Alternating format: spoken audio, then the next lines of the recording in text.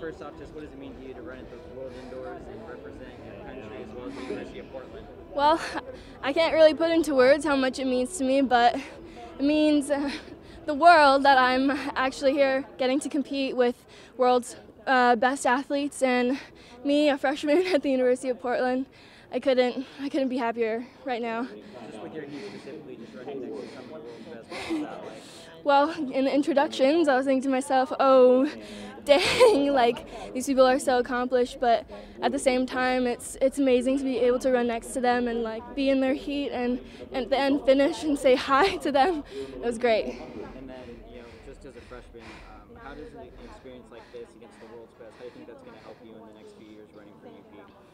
Well, this experience got my feet wet, and I'm excited to be a part of many more competitions, possibly uh, the world, other competitions like Olympics.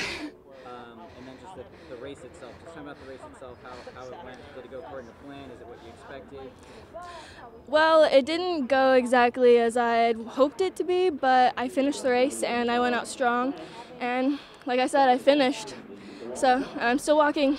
And then lastly, you know, what are we in March well, I have the rest of the season um, to compete. I'll be working on hurdles, and then if selected, I'm nominated for the Rio World uh, Rio Olympics this summer.